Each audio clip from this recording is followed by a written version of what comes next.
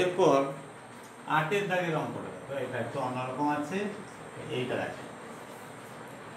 তিন বন্ধু, যথাক্রমে এক লক্ষ কুড়ি হাজার টাকা, এক লক্ষ পঞ্চাশ হাজার টাকা, এক লক্ষ দশ হাজার টাকা মূলধন নিয়ে একটি বাস ক্রয় করেন প্রথমজন ড্রাইভার, বাকি দুজন কন্ডাক্টরের কাজ করেন। তারা ঠিক করেন যে, মোট আয়ের দুইয়ের পাঁচ অংশ কাজের জন্য three is to two two is to অনুপাতে ভাগ করবেন এবং বাকি টাকা মূলধনের অনুপাতে ভাগ করে নেবেন। কোনো এক মাসে যদি উনত্রিশ হাজার দুশো ষাট টাকা আয় হয়, তবে কে কত টাকা পাবেন নির্ণয় করি। তাহলে এই যে এক মাসে আয় হয়েছে উনত্রিশ হাজার দুশো ষাট টাকা, এটা তাহলে কি হচ্ছে? না, দুটো ভাগে ভাগ হবে। এর দুয়ের তিন অংশ, এই যে মোট আয়ের দুয়ের পাঁচ অংশ দুয়ের তিন নয় দুয়ের পাঁচ অংশ। তাহলে উনত্রিশ হাজার দুশো ষাট টাকা দুয়ের পাঁচ অংশ একটা বের করতে হবে, আর বাকি টাকাটা একটা অংশ হবে। দুয়ের পাঁচ অংশ যেটা হবে, সেটা কি হবে? না কাজের অনুপাতে three is to two two is to অনুপাতে ভাগ হবে, আর বাকি যে টাকাটা, সেই টাকাটা মূলধনের অনুপাতে ভাগ হবে। দিয়ে প্রত্যেকে দুটো করে যোগ করে দিলে প্রত্যেকের মোট লভ্যাংশটা পাওয়া যাবে। তা এখন আমরা প্রথম কি করব? না, আগে এই লাভের দুয়ের পাঁচ অংশটা বের করে নিই, যেটা কাজের দিনের হিসাবে আমার ভাগ হবে। তাহলে লাভের লাভের দুয়ের পাঁচ অংশ সমান উনত্রিশ হাজার দুশো ষাট গুণিত দুয়ের পাঁচ টাকা সমান পাঁচ একে পাঁচ পাঁচ পাঁচে পঁচিশ পাঁচ আসতে চল্লিশ, পাঁচ, পাঁচে পঁচিশ, পাঁচ পঁচিশ সমান চার, শূন্য, সতেরো, সাত, আট হইল এক। এগারো হাজার সাতশো চার এই টাকাটা, এই যে দুইয়ের পাঁচ অংশ, এই টাকাটা হলো, এইটা কি না কাজের অনুপাতে ভাগ। আর বাকি তাহলে কত থাকল না, বাকি লাভ সমান, মোট লাভটা হয়েছিল উনত্রিশ হাজার দুশো ষাট টাকা তার থেকে বিয়োগ হবে এই এগারো হাজার সাতশো চার। এই টাকা এই টাকা বিয়োগ করলে, আর হবে কত? না, এই টাকাটা বিয়োগ করলে হবে পাঁচ ছয়, পাঁচ। তারপরে সাত, পাঁচ। দুই, সাত। সতেরো হাজার পাঁচশো ছাপ্পান্ন টাকা এটা হবে। তাহলে মনে রাখো, এই লাভের দুয়ের অংশ সমান এই যে টাকাটা এটা কাজের দিনের অনুপাতে ভাগ হবে। কাজের অনুপাতে। কাজের অনুপাতটা কি? না three is to two two is to two লিখছি। কাজের অনুপাত। Three is to two two is to two, আমার মোট তাহলে অনুপাতটা কি দাঁড়াচ্ছে? মোট অনুপাত হচ্ছে তিন যুক্ত দুই যুক্ত দুই সমান সাত। তাহলে প্রথম জন পাবে তিনের সাত অংশ, পরের জন প্রত্যেকে পাবে দুইয়ের সাত করে। ঠিক আছে, তাহলে প্রথম জন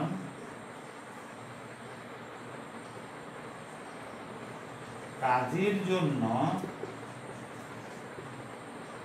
পাবে। কত? নাম, টাকাটা তো এইটা তাহলে এগারো হাজার সাতশো চার গুণিত তিনের সাত। সমান।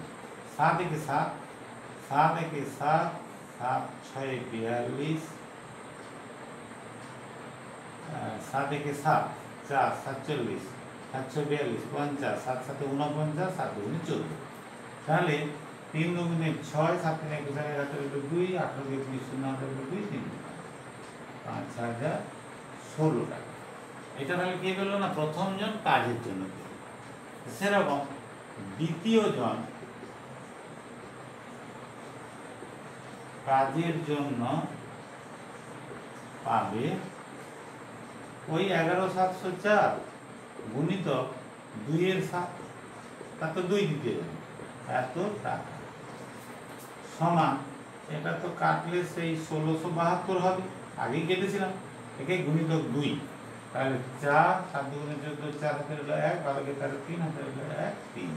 তাহলে এই টাকাটা পাবে দ্বিতীয় জন। তাহলে তৃতীয় জনের অনুপাত সেই দুই তো, এর দুই এর দুই, তাহলে অতএব তৃতীয় জন কাজের জন্য পাবে এই তেত্রিশ, চুয়াল্লিশ টাকা। হলো? এইবারে মূলধন, বাকি লাভটা মানে এইটা মূলধনের কত ভাগ তাহলে মূলধনের অনুপাত। তাহলে তিনজনের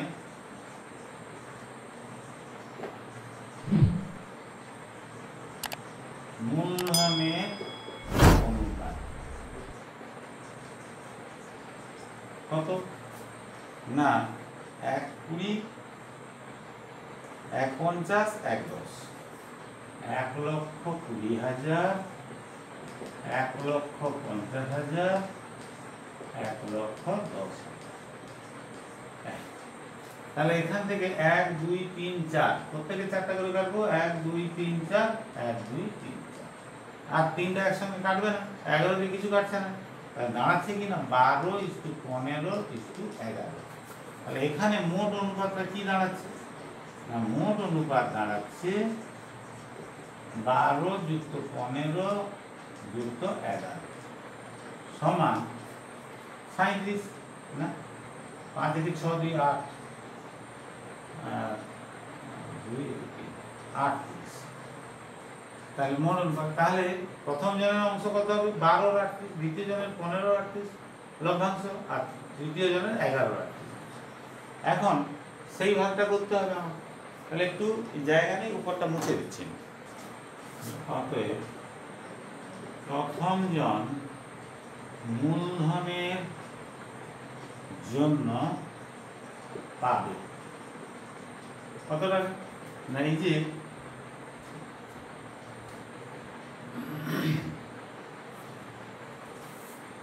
মূলধনের জন্য সতেরো হাজার পাঁচশো ছাপ্পান্ন টাকা ছিল তার ভাগে। তাহলে সতেরো হাজার পাঁচশো ছাপ্পান্ন এই টাকাটা ছিল, বুঝে দিয়েছি। তাহলে এইটা গুণিত, প্রথম জনের বারো অনুপাত তাহলে বারো অনুপাত, বারো বাই আটত্রিশ, বারো বাই আটত্রিশ। টাকা সমান। তাহলে এখন দুই উনিশে আটত্রিশ, দু আসতে ষোলো, দু সাথে চোদ্দ, দু সাথে চোদ্দ, দু আসতে ষোলো। উনিশ একে উনিশ উনিশ চারে ছিয়াত্তর একশো সতেরো, উনিশ, ছয়, একশো চোদ্দ, উনিশ, দুই আটত্রিশ তাহলে হলো কত? না, বারো দুগুণে চব্বিশে চার, হাতে রইল দুই। বারো, ছ, বাহাত্তর, চুয়াত্তর, সাত, বারো চারে আটচল্লিশ সাথে পঞ্চান্ন তাহলে এই টাকাটা সে মূলধন মূলধন থেকে এই টাকাটা সে পেল। এখন দ্বিতীয় জন মূলধনের জন্য পাবে একই রকম সতেরো, পাঁচশো, ছাপ্পান্ন গুণিত এর অনুপাত কত? পনেরো। তাহলে পনেরোর আটত্রিশ। এই টাকা। আচ্ছা এই আটত্রিশ দিয়ে কাটতে আমার চারশো বাষট্টি হয়েছে। তাহলে এই কেটে নিলাম। এখানে চারশো বাষট্টি লিখলাম। তাহলে পনেরো গুণিতক চারশো বাষট্টি, পনেরো দুগুণে তিরিশে শূন্য, তিন, পনেরো নব্বই, নয়, পনেরো চারে ষাট তাহলে ছ হাজার নশো তিরিশ টাকা। আর তৃতীয় জন মূলধনের জন্য পাবে কত টাকা? না, ওই চারশো বাষট্টি কাটলে এটা আসবে গুণিত এই অনুপাতটা কত তার? এগারো। এই টাকা। সমান এগারো দিয়ে বাইশ, এগারো ছয় ছেষট্টি দিয়ে আটষট্টি, ছয় চুয়াল্লিশ ছয় পঞ্চাশ। এই টাকাটা মূলধন। এখন তাহলে প্রথম জন মোট কত লাভ পাবে? না, প্রথম জন কাজের জন্য পাবে এই টাকাটা, আর তার মূলধনের জন্য পাবে এই টাকাটা। দিলে দাঁড়াবে কি? না, অতএব প্রথম জন, প্রথম জনের মোট লভ্যাংশ সমান পঞ্চান্ন চুয়াল্লিশ যুক্ত যুক্ত পঞ্চাশ ষোলো এই টাকাটা পাবে তাহলে কত হলো এটা? না ছ চার দশের শূন্য হাতে এক, চার, দুই, ছয়, পাঁচ, দশ দশ হাজার পাঁচশো ষাট টাকা। এইটা তার মোট পাবে সেরকম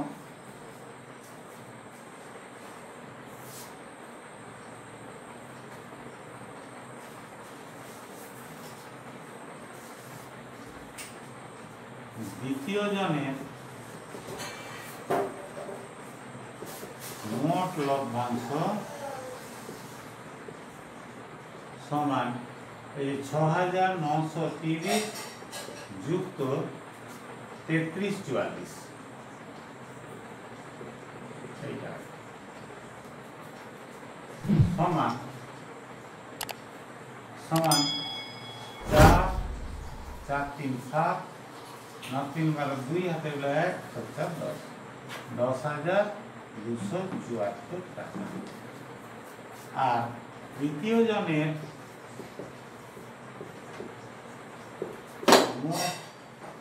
লভ্যাংশ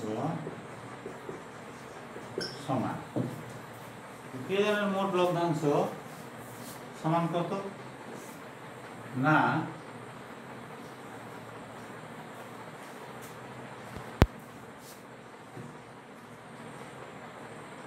পাঁচ, শূন্য, আট, দুই। এই টাকাটা তৃতীয় মূলধনের জন্য পেয়েছে এটা, যুক্ত তার কাজের জন্য তেত্রিশ চুয়াল্লিশ। তাহলে এই টাকা সমান চার, দুই, ছয় আর চার ভাগ দুই হাতে রইল এক, চার আট। হাজার চারশো ছাব্বিশ টাকা। ব্যাস, সমাধি পাওয়া গেল। তাহলে এই হচ্ছে আমার আটের দাগের অঙ্ক। এরপর আমরা দশের দাগের অঙ্কটা একটু দেখব।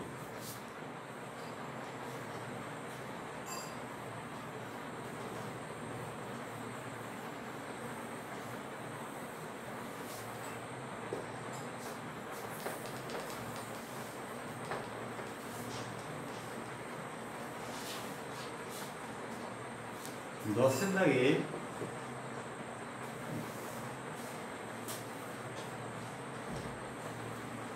নিয়ামত চাচা ও করবি দিদি যথাক্রমে তিরিশ হাজার টাকা ও পঞ্চাশ হাজার টাকা মূলধন দিয়ে যৌথভাবে একটি ব্যবসা আরম্ভ করলেন।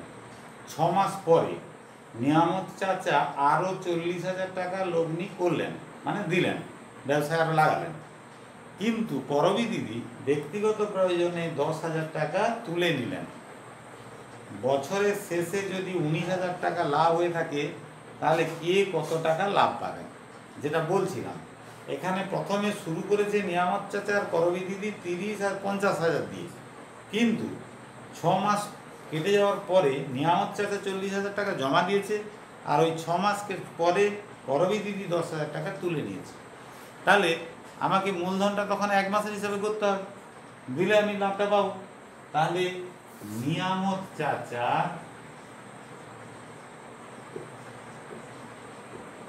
এক মাসের হিসাবে মূলধন।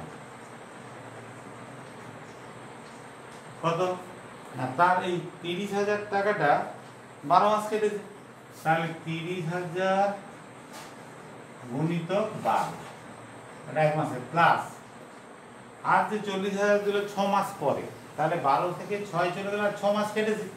তাহলে চল্লিশ হাজার গুণিত ছয় এইটা হচ্ছে এক মাসের হিসাবে নিয়ামত চাচার মূল্য। কত দাঁড়াচ্ছে? না, বারো তিন ছত্রিশ চারটা শূন্য যুক্ত ছ চারে চব্বিশ চারটা শূন্য। এই টাকা সমান। তাহলে চারটা শূন্য লিখলাম, ছ চার দশের শূন্য হাতে রইল এক, তিন তিন ছয়। এই টাকাটা এক মাসের হিসাবে নিয়ামত চাচা। মূলধন এইবারে করবি দিদির তাহলে এক মাসের হিসাবে। করবি দিদির এক মাসের হিসাবে মূলধন সমান। প্রথমে দিয়েছেন উনি পঞ্চাশ হাজার। তাহলে পঞ্চাশ হাজারটা বারো মাস কেটেছে বারো দ্বিগুণ করলাম এক মাস হলো আচ্ছা। তারপর কিনা তুলে নিয়ে এটা দিয়েছেন বলে যোগ করছি। তুলে নিয়েছে এই বিয়োগ করলাম কত টাকা না দশ হাজার টাকা? কতদিন খাটেনি? ছ মাস পরে তুলেছেন মানে বাকি ছ মাস তার দশ হাজার টাকা খাটেনি তাই দশ হাজার গুণিত ছয়। এইটা হচ্ছে পরবিধির এক মাসের হিসাবে মূল্যায়ন হয় তাহলে বারো পাঁচে ষাট আর চারটা শূন্য বিয়োগ ছয় চার। তাহলে ষাট হাজার টাকা আর ছ লাখ। তাহলে পাঁচ লাখ চল্লিশ হাজার।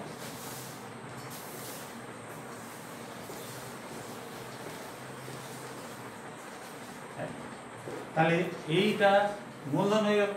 তাহলে অতএব এদের এদের মানে নিয়ামত চাচা ও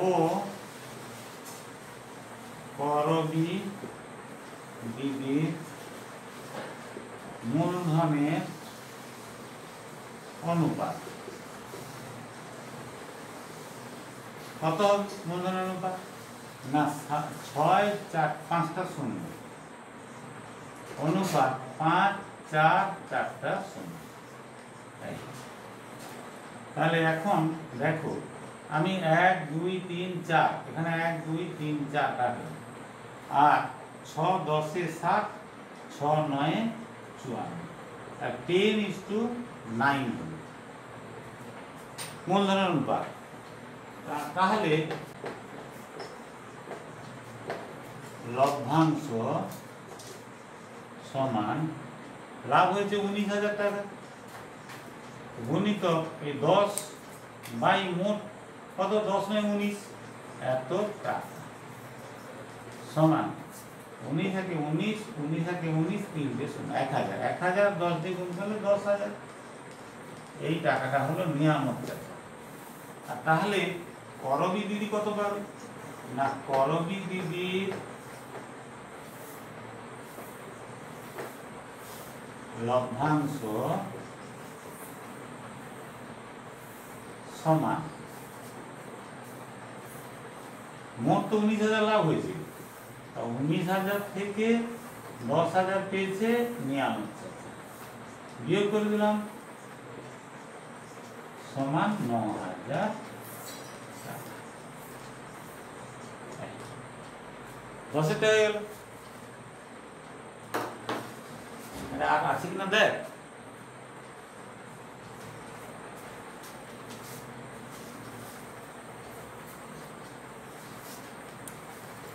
আর পাঁচ আছে পাঁচ মিনিট পুরো আছে।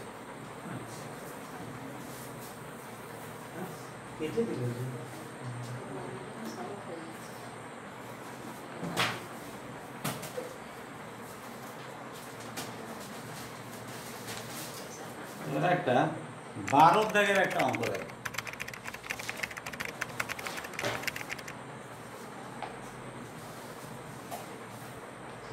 বারোটা একটু অন্যরকম বারোটা একটু দেখ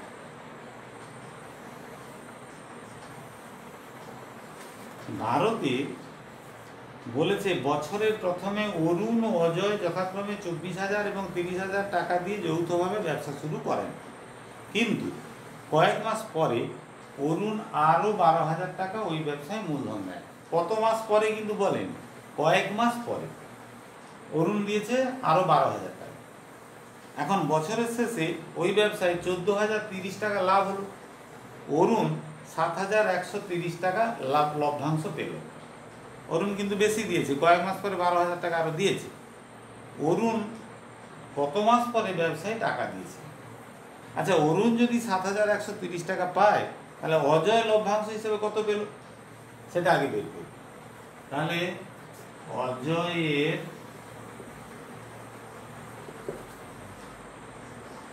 লভ্যাংশ সমান। কত না সাত? চোদ্দ হাজার তিরিশ বিযুক্ত সাত হাজার একশো তিরিশ টাকা সমান ছ হাজার নশো টাকা। তাহলে অজয় এইটা পেয়েছে? অজয় যে এটা পেয়েছে, এর জন্য তার মূলধন কত? আমি সমস্ত মূলধনকে এক মাসের হিসাবে নিয়ে যেতে হবে কেন? না, অরুণ যে পরে টাকাটা দিয়েছে, তাহলে এক মাসের হিসাবে অজয়ের মূলধন অজয় কত টাকা দিয়েছিল বছরের প্রথমে? না, অজয় বছরের প্রথমে দিয়েছিল তিরিশ হাজার টাকা। প্রথমে, বারো মাস কেটেছে, তাহলে তিরিশ হাজার গুণিত বারো। সমান বারো তিনে ছত্রিশ আর চারটা শূন্য এই টাকা। তাহলে এক মাসের হিসাবে অজয়ের মূলধন হচ্ছে এইটা। তাহলে সে এই ছ হাজার নশো যে লভ্যাংশ পেল, সেটা এই মূলধনের জন্য সে তো আর পরে কোনো টাকা দেয়নি অজয়। দিয়েছে অরুণ। তাহলে দেখো, ছ হাজার নশো টাকা লভ্যাংশ হলে মূলধন সমান ছত্রিশ চারটা শূন্য এটা তো লিখতে পারি আমি। কেন এই মূলধনের জন্য এইটা সে পেয়েছে? তাহলে এক টাকা লভ্যাংশ হলে মূলধন কত? না, ছত্রিশ চারটা শূন্য বাই ছ হাজার নশো টাকা এখানে আচ্ছা। এখন অরুণ কত টাকা লভ্যাংশ পেয়েছে? না, অরুণ পেয়েছে সাত হাজার একশো তিরিশ টাকা। তাহলে সাত হাজার একশো তিরিশ টাকা লভ্যাংশ হলে মূলধন তাহলে কত না, ছত্রিশ চারটা শূন্য বাই ছ হাজার নশো গণিত সাত হাজার একশো তিরিশ। এইটা হবে, এই টাকা। তাহলে এটার কাটাকাটি করলে কি হবে? না, এই একটা শূন্য আগে এটা কেটে দেয় তেইশ তেইশ তিনে উনসত্তর শূন্য, আর এটা হচ্ছে তেইশ তিনে উনসত্তর তেইশ একে তেইশ। এই হলো। তাহলে এই একটা শূন্য এখানে কেটে দাও। আর তিন, একে তিন তিন একে তিন তিন দুগুণে ছয়, আর তিনটা শূন্য। তাহলে বারো হাজার ইন্টু একত্রিশ। সমান কত দাঁড়ায় না, সমান তিনটে শূন্য তো হলোই। বারো একে বারো দুই হাতে রইল এক। আর বারো দিনে ছত্রিশ একে সাইন। এই টাকাটা হলো কি? এই টাকাটা হলো সাত হাজার একশো টাকা যে লভ্যাংশ নেবে, তার মূলধন এক মাসের হিসাবে মূলধন হবে এইটা। তো এক, কেন? না, ছ হাজার নশো টাকা মূলধন নিয়েছিল অজয় লভ্যাংশ নিয়েছিল অজয়, তার মূলধন ছিল এক মাসের হিসেবে এইটা। তাহলে সাত হাজার একশো তিরিশ টাকা লভ্যাংশ যখন কেউ নেবে, তার মূলধন হবে এটা। এক মাসের হিসাবে মূলধন। এটা কে নিয়েছে? এটা অজয় নিয়েছে অরুণ নিয়েছে। তাহলে এ যদি অরুণ নেয়, তাহলে অরুণের এক মাসের হিসাবে লভ্যাংশ এইটা হবে। হবে কি না? তো এখন অতএব লিখতে হবে, অতএব অরুণের এক মাসের হিসাবে মূলধন সমান তিন বাহাত্তর তিনটা শূন্য। এটা হলো তার মাসের হিসাবে মূলধন এখন সেই প্রথম বছরের প্রথমে কত দিয়েছিল? চব্বিশ হাজার টাকা। তাহলে এইটা আগে দেখা যাক। তাহলে চব্বিশ হাজার গুণিত বারো দিলে এইটা এক মাসের হিসেবে হয়ে যাচ্ছে কিনা? তো এইটা সমান কত? এত টাকা।